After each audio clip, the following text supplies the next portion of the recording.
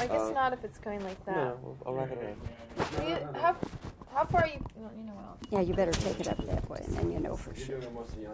Fresh shots? I've done all that. Okay, please say your name once. Okay. Yes, uh, saying my name once, Bobbie Wygant from Dallas. Behind you, Brian. Yeah. Uh, okay, that's on. That's on. So right.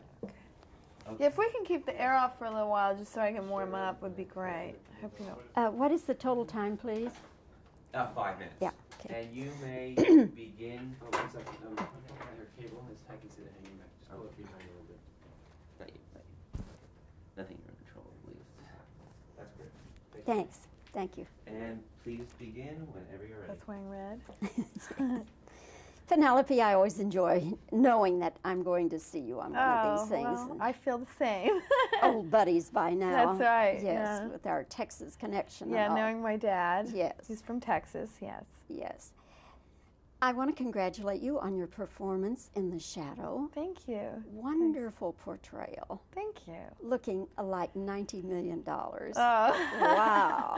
oh, that's That really must nice. have been such a thrill getting all those costumes together. Yeah, it was because I've always loved um, the fashion of of the style of that period of the 30s. I've always thought that that that was such a great period for clothes and for fashion because the women always looked so elegant and glamorous and you know the gowns and the the, the, the designs and the fabrics and so it was really fun coming up with the ideas for the for the costumes.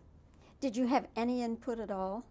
Oh yeah, sure. I mean, the great thing about Bob Ringwood, who did the, the costumes, is that you know he really worked with me on what I liked and you know the colors that I liked and um, you know the, the what what I felt was the most flattering to my figure and staying true to the pig. The, staying true to the to the time period you know so it was it was really nice to work with him because he really he really made sure that everything was cut you know to my body to to really you know accentuate the the positive as they say You have lots of Oh, positive thank going you, for thank you. thank you Were you, uh, as a kid, uh, involved with reading about and listening to The Shadow?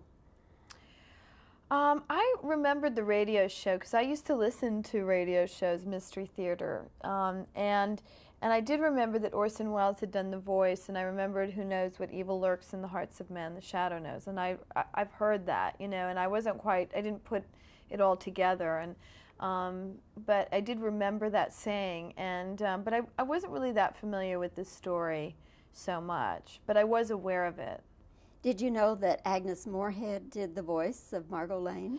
She was certainly. I think she was one of the voices. Was she voice? she was one of the voices. Yeah, there was an original, and um, but yeah, it's um, it was really interesting the the, the the fact that, that all these you know people sort of who like Orson Welles and Agnes Moorehead, you know. When you knew you were going to do this, did you go back and, and listen again to any of that stuff or read any of the old things? Well, Margot Lane in the in the radio show was a little bit different than my character in the movie because she was. Um, I don't think um, she didn't. She a lot of the times was always getting captured and getting saved, and she was a little more prim and proper. And my character's a little bit more seductive and provocative, um, and she's.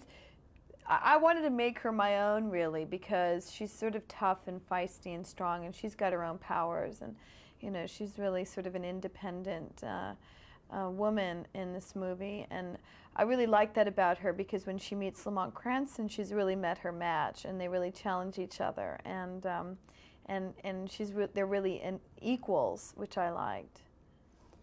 The one scene where you're surrounded by the ring of fire, was it real fire or did they put that in later, animate that in later, or how? They animated some of it. The, the the fire behind me was real, and they had to have like a bunch of guys initially um, holding down my skirt, and so that the it wouldn't catch fire or the negligee that I'm wearing.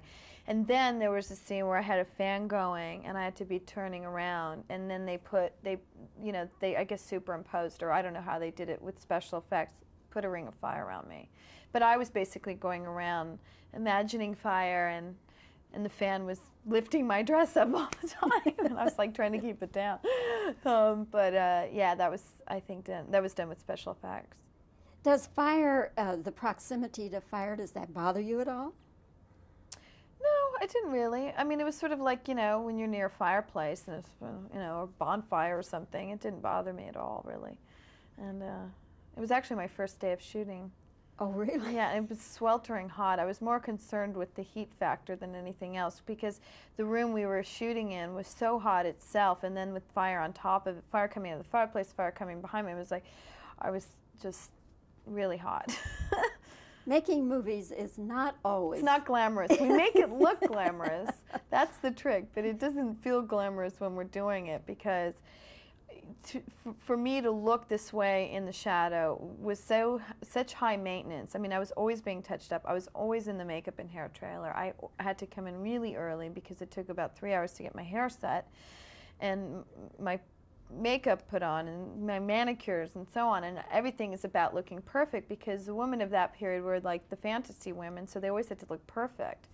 And um, and style and fashion was so important and, and and that's what makes the movie fun is that it's a fantasy movie so you live vicariously through these people because they all look so elegant That you do, Penelope. Oh, that thank you, you. do. Thank you. It's been good talking with you again, and I hope that shadow, the shadow, does well for all of you because it is a really a glitzy, I think, Yeah. very exciting It's a film. it's a fun movie and it's funny too and it's great to look at so so I hope so and then maybe there's a sequel. Aha! Okay. Yeah. Thanks very okay, much. thank you. Yeah, I was going to ask some. I guess Uh, not if it's going like that. No, we'll, I'll wrap it around. Will you- how, how far are you? Well, you know what? I'll- Yeah, you better take it up that way, and then you know for sure. I've done all that. Okay, please say your name once. Okay. Yes. Uh, saying my name once, Bobbie Wygant from Dallas. Behind you, Brian. Yeah. Um, okay, that's on. That's on. So right. Okay. Yeah, if we can keep the air off for a little while, just so I can warm up, would be great. I hope you know. Uh, what is the total time, please? Uh, five minutes. Yeah, okay. And you may begin. Oh, one second. Um, your cable is. I can see it hanging back. Just pull it behind a little bit. Not you. Nothing you're in control of, please. That's great. Thank you. Thanks. Thank you. And please begin whenever you're ready. Both wearing red. Penelope, I always enjoy knowing that I'm going to see you on one of Oh, these things. well, I feel the same. old buddies by now. That's right, Yes, yeah. with our Texas connection. yeah, knowing my dad. Yes. He's from Texas. Yes. Yes. I want to congratulate you on your performance in The Shadow. Thank you. Wonderful portrayal. Thank you. Looking like $90 million. Oh. Wow. oh, that's That really must nice. have been such a thrill getting all those costumes together. Yeah, it was because I've always loved um, the fashion of of the style of that period of the 30s. I've always thought that that that was such a great period for clothes and for fashion because the women always looked so elegant and glamorous and you know the gowns and the the, the, the designs and the fabrics and so it was really fun coming up with the ideas for the for the costumes. Did you have any input at all? Oh yeah, sure. I mean, the great thing about Bob Ringwood, who did the, the costumes, is that you know he really worked with me on what I liked and you know the colors that I liked and um, you know the, the what what I felt was the most flattering to my figure and staying true to the pig the staying true to the to the time period you know. So it was it was really nice to work with him because he really he really made sure that everything was cut you know to my body to to really you know accentuate the the positive as they say. You have lots of Oh, positive thank going you, for thank you. thank you Were you, uh, as a kid, uh, involved with reading about and listening to The Shadow? Um, I remembered the radio show because I used to listen to radio shows, Mystery Theater, um, and and I did remember that Orson Welles had done the voice, and I remembered "Who knows what evil lurks in the hearts of men? The shadow knows." And I, I I've heard that, you know, and I wasn't quite, I didn't put it all together, and um, but I did remember that saying, and um, but I I wasn't really that familiar with the story so much, but I was aware of it. Did you know that Agnes Moorehead did the voice of Margot Lane?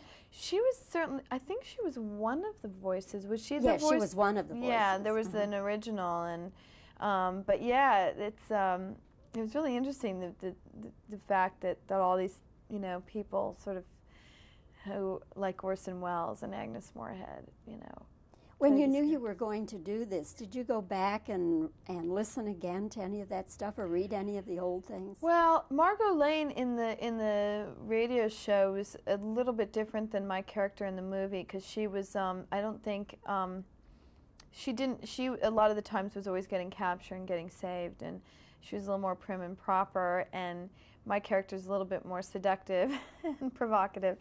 Um, and she's I wanted to make her my own really because she's sort of tough and feisty and strong and she's got her own powers. And you know she's really sort of an independent uh, uh, woman in this movie. And I really like that about her because when she meets Lamont Cranston she's really met her match and they really challenge each other. And um, and and she's re- they're really equals which I liked.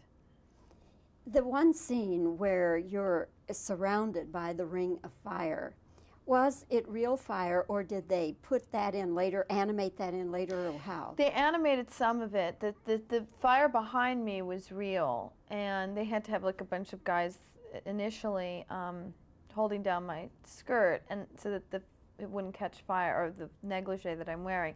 And then there was a scene where I had a fan going, and I had to be turning around, and then they put they, you know, they I guess superimposed or I don't know how they did it with special effects, put a ring of fire around me. But I was basically going around imagining fire and and the fan was lifting my dress up all the time, and I was like trying to keep it down. Um, but uh, yeah, that was I think done, that was done with special effects. Does fire, uh, the proximity to fire, does that bother you at all? No, it didn't really. I mean, it was sort of like you know when you're near a fireplace and it's uh, you know a bonfire or something. It didn't bother me at all, really. And uh, it was actually my first day of shooting. Oh, really? Yeah, it was sweltering hot. I was more concerned with the heat factor than anything else because the room we were shooting in was so hot itself, and then with fire on top of it, fire coming out of the fireplace, fire coming behind me, it was like I was just really hot. Making movies is not always. it's not glamorous. We make it look glamorous. That's the trick, but it doesn't feel glamorous when we're doing it because to, for, for me to look this way in the shadow was so such high maintenance. I mean, I was always being touched up. I was always in the makeup and hair trailer. I had to come in really early because it took about three hours to get my hair set, and my makeup put on and my manicures and so on and everything is about looking perfect because the women of that period were like the fantasy women so they always had to look perfect. And um, and style and fashion was so important and, and and that's what makes the movie fun is that it's a fantasy movie so you live vicariously through these people because they're all look so elegant That you do, Penelope. Oh, that thank you, do. thank you It's been good talking with you again, and I hope that shadow, the shadow, does well for all of you because it is a really a glitzy, I think, yeah very exciting It's a film. it's a fun movie and it's funny too and it's great to look at. So, so I hope so. And then maybe there's a sequel. Aha! Okay. Yeah. Thanks very okay, much. thank you. Yeah, I was going to ask some.